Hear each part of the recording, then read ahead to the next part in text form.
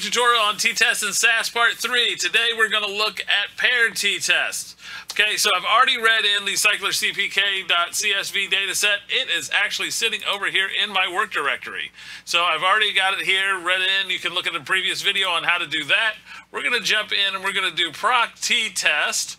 Our data is equal to the cycler data. And here we're doing paired. And let's look at this real quick. Why would this make sense? Because subject one, if they have a high CPK value, it's likely to be high across all the measurements because it's within a person. There's some correlation that exists within a person. So they're not independent measurements. So CPK1 and CPK2 aren't independent from each other because they're measured on exactly the same subjects. So in this case, we'd want to do a paired t-test. So what I'm going to do is I'm going to take the difference between CPK2 and CPK1 and do this as a paired t-test in SAS. So the key here is paired I put in CPK2 star CPK1 and then run it. Okay, this is the code to hopefully get us the answer we're looking for.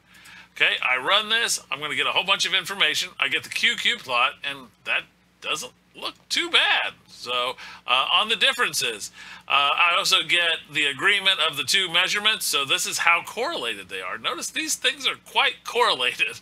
So keep that in mind. So these were not independent observations, which makes a two sample t-test inappropriate for this. Uh, this gives the profiles just so you can see the people up here tend to be high, the people in the middle tend to be in the middle, and the people at the bottom tend to be at the bottom. Uh, you get the density, uh, uh, uh, kernel density, normal density, and the histogram.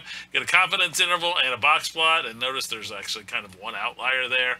Uh, but what we're actually interested in is right here. So this is where the t-test actually is, and it gives you a p-value. And this p-value is really high. No sane person would say that these two groups are different uh, based off these measurements because uh, the p-value is 0.8. It's like an, you'd be willing to be wrong 80% of the time if you said that this was significant. All right, so uh, let's move on to the next video and start learning some other analysis tricks.